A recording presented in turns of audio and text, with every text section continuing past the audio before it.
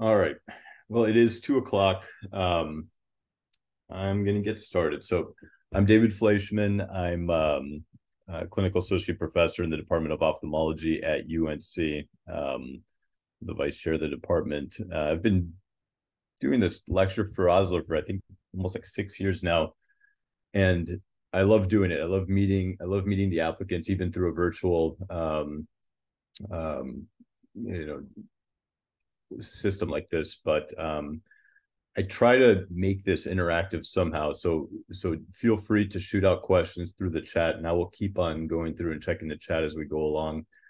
Um, I have no uh, financial disclosures. Uh, most of the images um, from this are are just uh, online searches that I thought were most applicable. Um, when I started doing this presentation years ago, I, I, used to joke that you know, like glaucoma. If you didn't know what it is right now, you're you're in trouble. But you know, after now doing this for almost ten years, I realized that answering like what is glaucoma is actually one of the hardest questions in our in our field. Um, but you don't need to get into the philosophical for the purpose of the boards.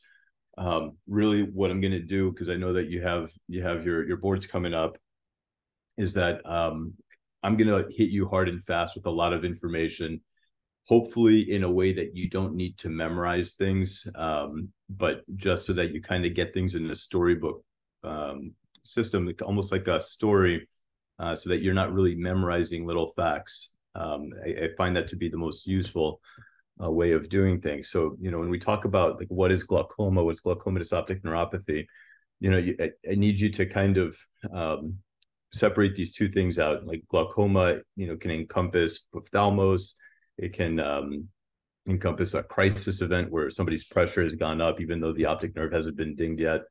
But usually, when we're talking about it for the purpose of your exam, they're going to talk about glaucomatous optic neuropathy. And, and there's a typical cupping pattern and atrophy of the nerve uh, with corresponding visual field loss that they really harp on. And then intraocular pressure, as you know, is a risk factor. It is not synonymous with uh, glaucoma. Um, you, you know of many cases of patients who have terrible glaucoma despite uh, pressures in the normal range. That being said, it is the only variable um, that we use to treat the disease process. So it's still probably central in um, in, the, in the definition of the disease. And just to show you that cupping by itself is not necessarily um, glaucoma. Also, you know this this is a very cupped optic nerve, a very very cupped optic nerve, and this nerve looks very, very healthy. I'll tell you, this is not glaucoma. This was somebody with a superior segmental optic um, atrophy. And this patient had about a 0.1 cup to disc ratio about uh, three years prior, uh, has become ocular hypertensive. Um, so this change, this change in uh, optic nerve cupping, um, you know, if you just look at it without a temporal context, uh, you would say it's a completely normal nerve. But the temporal aspect, this change over time uh, in the setting of high intraocular pressure would absolutely make this a glaucomatous optic neuropathy. Okay. Um, this is the most common cause of irreversible blindness in blacks in the U.S., and it's three to four times more, uh, uh, more likely to, to affect black patients than white patients. Black patients are three to four times more likely to go blind from glaucoma. So this is a big, big public health uh, issue. Uh, and this is amongst the leading causes causes of blindness worldwide uh, with trachoma, cataract, and glaucoma. Remember that glaucoma is going to be the one that is uh, irreversible. Here's some genes involved in glaucoma. You're thinking, how am I going to look at this chart? How am I going to look at this chart and make this useful to me just a, like a few weeks before the the boards? And I will tell you, you very much can do so. Uh, what you really want to do are to pick up trends or what sort of things stand out. So I'm going to look at the chat. I'm going to look at the chat box here. I'll put you all on the spot real quick, um, all, all, three of you in there. And, and if you were to tell me, you know, what is what is one thing um, that stands out to you about about all of these genes um, responsible for glaucoma, their inheritance patterns, um, as an example. And I will keep looking at my watch just to make sure that I stay on time and I see almost all are dominant. And Jason, you are you are correct. Okay, so if you remember nothing else right now about about glauc- the glaucoma and the genes, okay, it, comes crunch time for the boards, and you have a question that comes up that says, is this autosomal recessive, autosomal dominant? I want you to remember that almost all glaucomas are going to be autosomal dominant. Okay. What is the big exception here?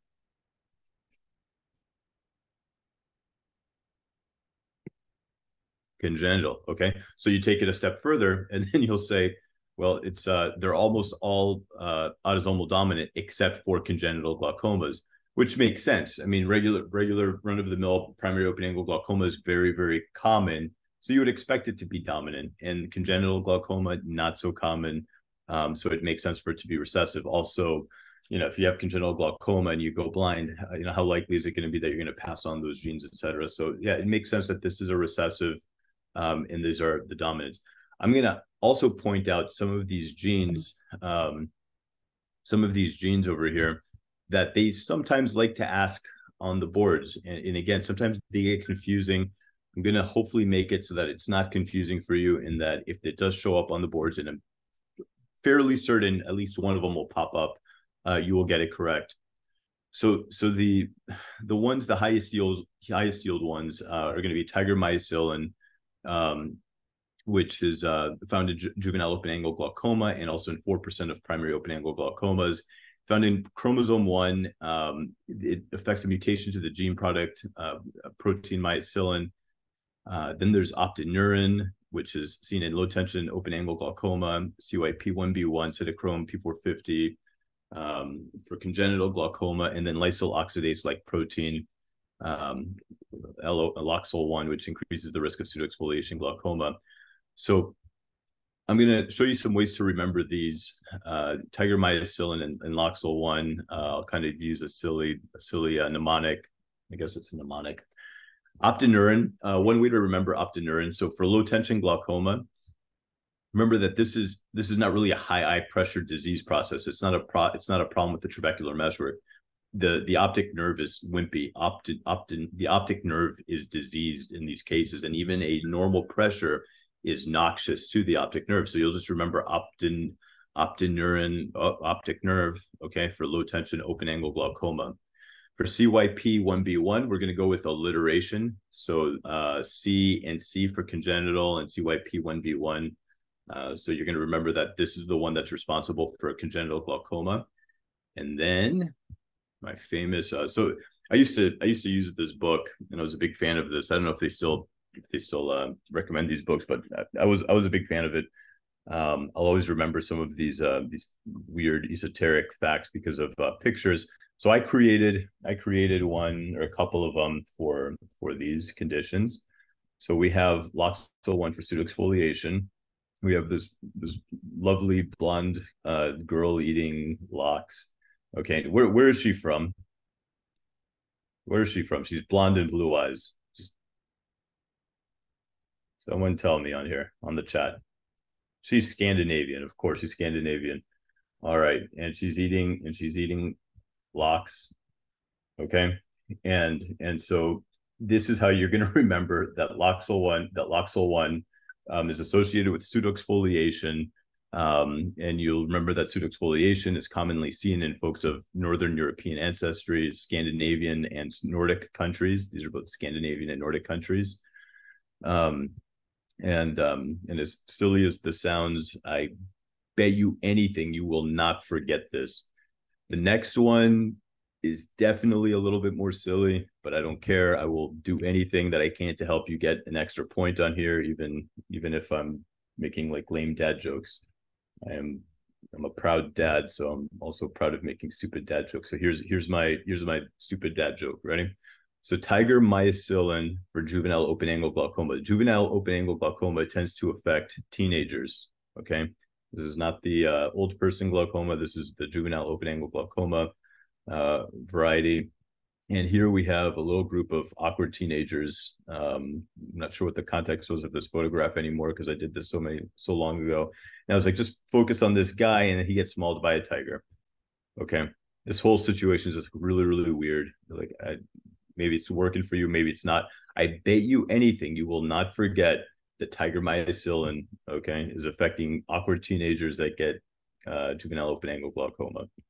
So There you go. I did it. I actually had another one uh, a while back um, for Axenfeld-Rieger syndrome, but um, I was using Ax- Axl Rose uh, as a uh, part of the mnemonic, and then it, it, turned out that most people didn't know who Axl Rose was anymore. Um, so I, I, think I'm getting out of date. I'm out of touch. Uh, eye pressure. What is the normal eye pressure? You know when somebody asks like, "What's the normal eye pressure?" Uh, what what you know? What do you answer? What is the normal eye pressure?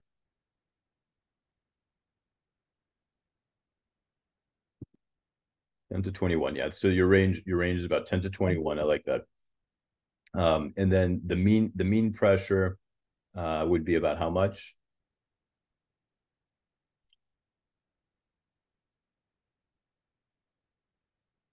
Sixteen, very good. Yeah, sixteen. Yeah, 16, 17. I'll take that plus or minus three. There's a reason why I'm asking all of these things. By the way, you'll see the, the distribution.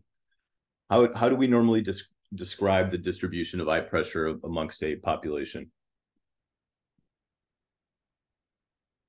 So skewed higher is is how we describe the particular type of um, distribution. So it, it's you know, is it Gaussian, non-Gaussian?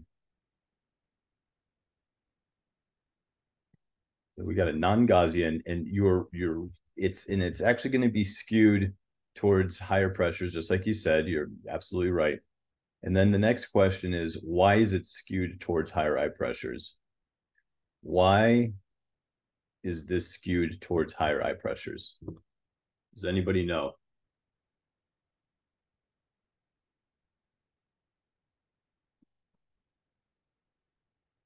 Anybody know? And you can say no. Or you could say the wrong answer. No. Okay. Good. I like it when people don't know things, and I like it when I see wrong answers. Okay. I really do, because that means that I'm teaching you something. Okay. If you knew everything that I was about to uh, teach you, I'm wasting your time. So um, it's good for me to see this, and I promise you that you'll you'll also know this. We're going to talk about why pressures are skewed towards higher pressures in a little bit. So, what makes the eye pressure? What makes eye pressure high? So it's going to be uh, either the rate of aqueous humor production, resistance to aqueous outflow through the TM Schlemm's canal, or elevated episcleral venous pressure. So the most common, the most common is going to be resistance to aqueous outflow um, through the TM. Uh, some some rare cases of elevated elevated episcleral venous pressure, and almost unheard of for the rate of aqueous humor production to be a cause of high eye pressure. Okay, there's I think like epidemic dropsy. I think is like one of the only conditions that I know of that that is related with uh, increased aqueous humor production, and uh, some folks incorrectly attribute steroid um, uh, excess steroids as as uh, this mechanism, which is not really the case.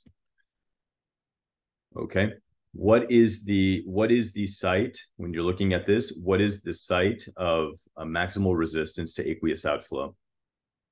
This is a high yield point that I do not want you to forget. Juxtacanalicular, very, very good. So juxtacanalicular is going to be the, uh, the part that is going to be responsible for most of the resistance to aqueous. So you have the uveoscleral meshwork, the corneoscleral meshwork, then the juxtacanalicular, which is abutting the um, inner wall of Schlemm's canal. And this is Schlemm's canal, and then you've got these outlet channels that'll go into aqueous veins, episcleral veins, superior ophthalmic vein, etc. Um, let's see here. Okay, composition of aqueous. So here's another one. You're like, do I really need to remember 20.15 and 27.52 in order to pass the boards? Yes, yes, you do. No, I'm just joking. No, you don't. Um, but they could ask you things like relative differences. They, they they like to see like what things make the aqueous unique to plasma. Um, so there's a way there's a way to look at this and make it make sense without having to memorize it okay? So how can we look at this and and um and not memorize anything but know the answer to each of these?